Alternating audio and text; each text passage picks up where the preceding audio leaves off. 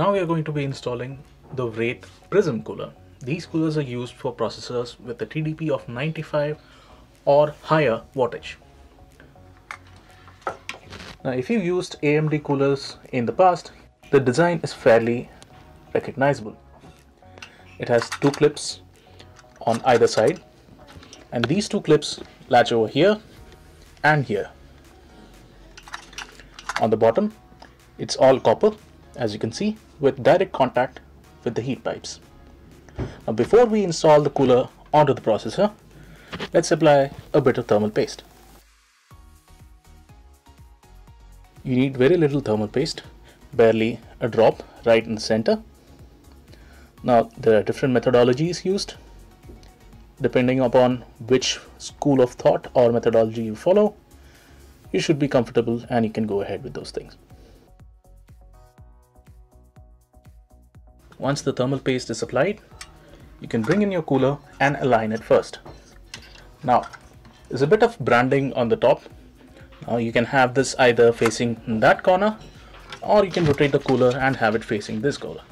It's up to you. The cutouts on either side of the cooler are the, are the same. We'll be aligning it in this manner. To do that, first, we'll bring the cooler and bring it where we want to install it. We'll align it and then place it fairly on top of the processor. Now we need to clip both of these clips onto the mount at the bottom. Now I'll be attaching this clip onto the latch at the bottom.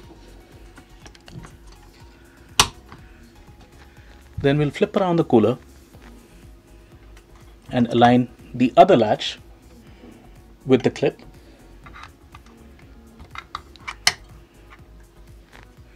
Now that one's engaged as well. The last remaining step is to twist this particular lever and apply tension, thereby sealing the cooler onto the motherboard. Now it's rigidly fit and no amount of minor disturbances can move the cooler. Once that's done, you need to identify where your CPU cooler fan is supposed to be installed.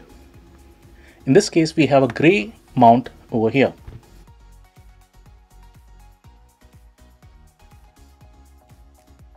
Now your cooler fan is installed.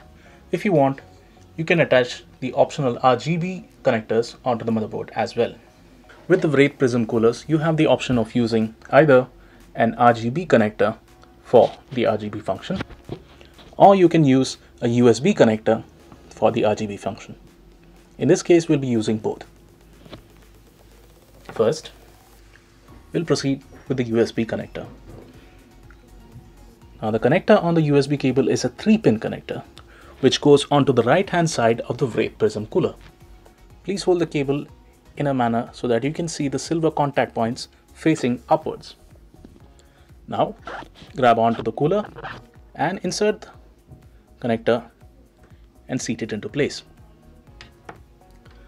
Then take the other end of the cable, which is a standard USB header cable, and insert it onto any of the free USB headers on your motherboard.